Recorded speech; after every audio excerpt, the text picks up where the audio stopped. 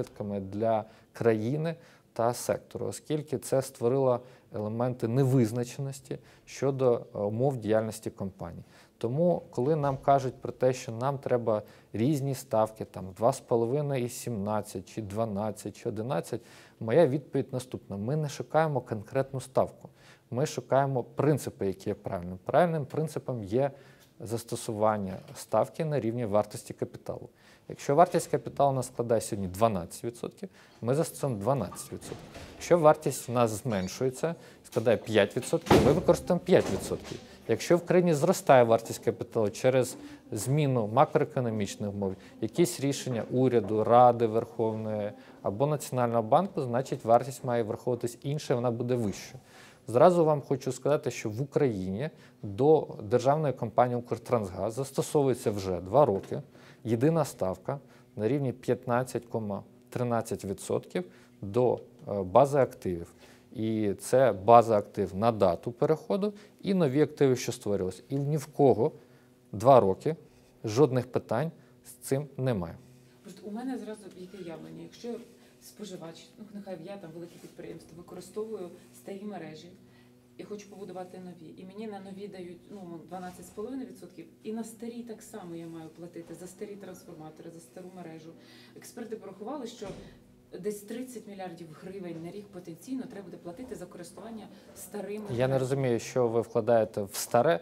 Е, Якщо старе, то е, ставка має бути інша. Відповідь е, це не хибна думка, оскільки до старих активів застосовано вже знижку за фізичний знос. Я її вже озвучив, це 70%. І оскільки існуючі мережі не застосовуються повним чином, застосовується знижка за неповне використання.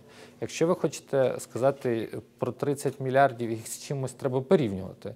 Е, Можу сказати, що в е, Італії, перепрошую, е, в Німеччині трошки північніше, або в Франції вартість активів, вартість активів, на яку е, нараховується регуляторна норма доходу, складає 45 мільярдів у Франції і приблизно 30 мільярдів у Німеччині. Ну, так, Це цифри, щоб ви е, зрозуміли, 900 мільярдів гривень.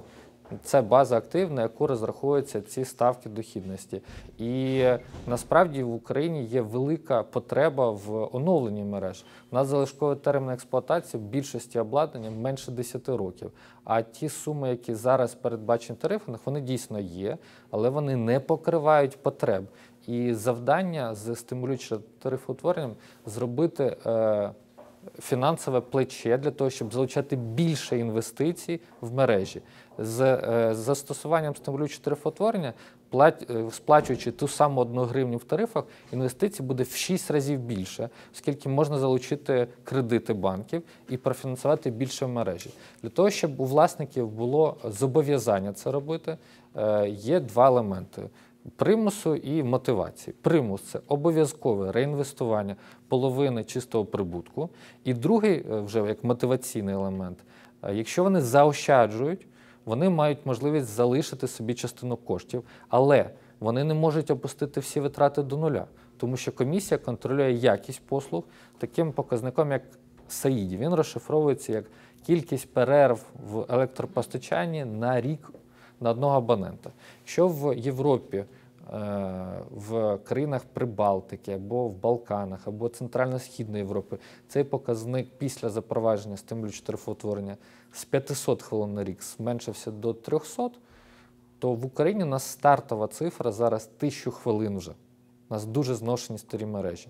З запровадженням стимулюючого тарифотворення ми бачимо, що за 8 років можна вийти на рівень цих країн 300 хвилин. Це буде явне поліпшення якості електропостачання з меншим фінансовим навантаженням, ніж затрати плюс. Ми говорили вже про обленерго, тепер давайте поговоримо про споживачів, так? про тих, хто власне буде платити цей тариф. Е, е, Ви заявляли про те, що населення це не стосується. Правильно, це будуть е, споживати великі підприємства. Але чи не зробить українські великі підприємства підвищений тариф на електроенергію, який залежить від електроенергії неконкурентними на ринку? Що в них здорожчає їхня продукція? Не зробить. Ми зробили такі розрахунки, як публічно представляв Верховній Раді України. По тарифам для населення у нас картинка наступна. Від мінімального в Болгарії наш е, тарифи вдвічі дешевші. По е, промисловим споживачам у разі застосування- стимулюючого тарифоутворення е, тариф навіть в найслабкішому регіоні буде нижче, ніж в самій дешевій країні Європи. Все на цифрах доведено. А чого ж тоді Гройсман заявляв про те, що тариф може зробити економіку неконкурентною?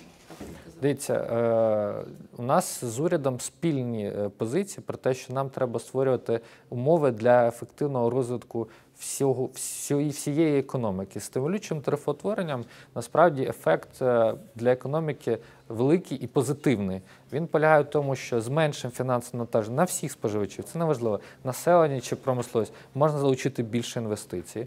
З цих інвестицій 50-60% це буде місцева складова однозначно, оскільки це і обладнання.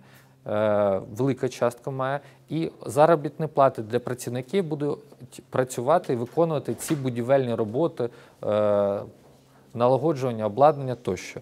Тому я не можу сказати, що це може зробити погіршення для економіки. Вигоди це більша сума інвестицій, а тарифи при цьому залишаються дешевшими ніж в Європі. Просто що взагалі переважно у світі е, Додайте ще ефект е, успішної приватизації. У Європі просто ми теж в мене колега сильно займається енергетикою. Він розказував, що в Європі тарифи для підприємства, для під- підприємств, для бізнесу вони нижчі ніж для населення. Населення більше платить, правильно? Так. І президент свого часу обіцяв зрівняти це. І тепер виходить, не буде цього зрівняння, не буде виконана Це інша тема. Якщо казати про стимулююче тарифоутворення, його ефект на промислових споживачів, е, навіть не змінюючи тарифи населення, а лише враховуючи це для промисловості, е, яке населення не зовсім іноді полюбляє, е, то у нас тарифи для промисловості залишаються найнижчі в Європі. Ну, Якщо так, казати це про, е, якщо в середній країні як- говорити, Ще раз. якщо якщо порівнювати з Європою, звичайно, але у нас економіка найнижча, не знаю, чи не найнижча в Європі, але нам важко порівнювати. Е, Я думаю, що у нас вартість. проблема з енергоефективністю великих промислових споживачів, і їхнім бажанням за будь-якої можливості е, заощадити навіть копійку. Е, в цьому е, русі заощадити а- а- хоча б навіть копійку, вони готові залучати багато грошей на експертів, медіа тощо. Е, Якщо повертаючись до обіцянки президента, це стосується цього чи ні? Е, Щоб зрівняти тарифи? Чи це не буде зрівняно? Ну, вартість електроенергії і для великих підприємств, і для населення. Це стосується цього чи ні? Ну, я думаю, що це вимагає додаткової дискусії, е, чи це буде підтримано е, громадськістю. І якщо буде е, проведені такі дискусії, комісія буде обмірковувати це питання. На сьогоднішній день воно на порядку денному не стоїть. Позиція уряду зрозуміла. А як щодо позиції президента? Як ми розуміємо, НКРІКП підпорядковується гаранту, правильно? Зрозуміло. Нагадаю вам про е, закон про національну комісію, що здійснює державне регулювання в сферах енергетики та комунальних послуг. Національна комісія здійснює свою діяльність незалежно. Вона не керується жодними е, вимогами політичних партій тощо. Це прямо заборонено.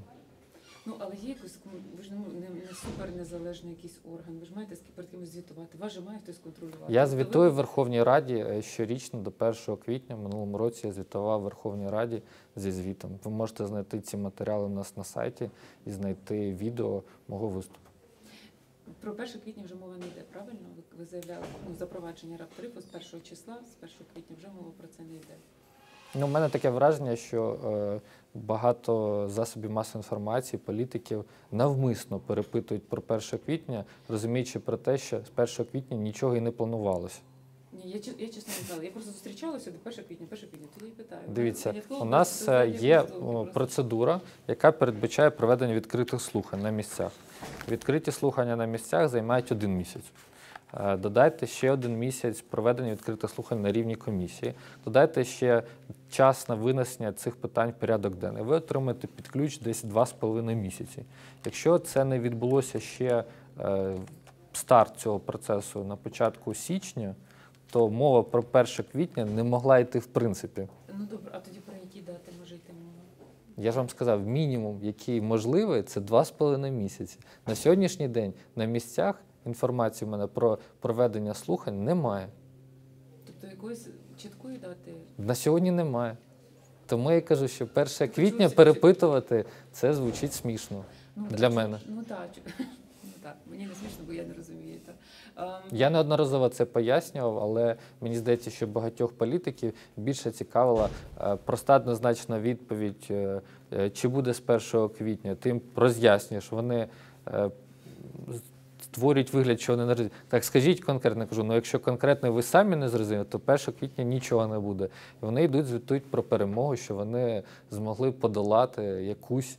е, На їхню думку, схему, хоча це їхнє пряме зобов'язання, оскільки вони є членами коаліції і підтримували при складанні коалі- коаліційної угоди запровадження стимулюючого тарифоутворення. Ну ви ж розумієте, звідки ці занепокоєння, звідки ці думки, і ну просто коли в руках одного органу формується так багато влади і впливу, всі зразу починають панікувати. Раптом там корупційна складова, а раптом хтось з кимось домовиться. Ну тобто це якісь абсолютно людські питання, які нас стосуються в Україні з усіх боків. Дивіться, комісія е, завжди е, з моменту створення в серпні 2014 року, коли я приєднався до комісії, була зосереджена на забезпеченні максимальної прозорості, публічності, доступу до інформації. Не у всіх є бажання цьому цікавитись і розглядати всі матеріали, які є на сайті комісії. Але така можливість створена. Е, Замість того, щоб е, продукувати фобії, я запрошую всіх до аналізу тих всіх матеріалів, які є доступними. Е, Принагідно інформую, що в професійній спільноті, наприклад, Національна асоціація регуляторів в Сполучених Штатах, е, відзначила, що сайт комісії одним з найкращих взагалі, якщо навіть порівнювати з сайтами регуляторів Сполучених Штатів Америки. Е, По звітам моніторингових Організації Об'єднаних Націй, наш процедури як колегіального органу є е, номер два в Україні серед усіх колегіальних органів. Е, Наш сайт номер два серед усіх органів державної влади вже другий рік поспіль. Тобто всі можливості для того, щоб доєднатися, розібратися, є. Було б бажання. Просто зразу до мене, як і сили, почитала та біографію Вовка, що він, де він займається. Тут я бачу, що ну те, що експерти казали, от відпорядковується президенту, що Вовк працював в компанії Рошен. І зразу якісь такі думки. Ну а раптом це якийсь може бути взаємозв'язок. Жодного зв'язку немає. На сьогоднішній день я працюю в комісії три з половиною роки. Це максимальний термін для голови комісії, в принципі, за історію України. Тому казати про недостатність е, незалежності чи можливо недостатність знань, яку ви спробували натякнути, неприпустимо. Останнє запитання. Тепер, як я правильно зрозуміла, м'яч на, на полі на полі місцевих громад. Тепер вони мають подати провести слухання. Це е, ще раз е, хочу сказати, що е, комісія норм... намагаюсь точку знайти. Звідки точку відліку? Мгм. Звідки, звідки Точка відліку починається від е, проведення відкритих слухань на місцях.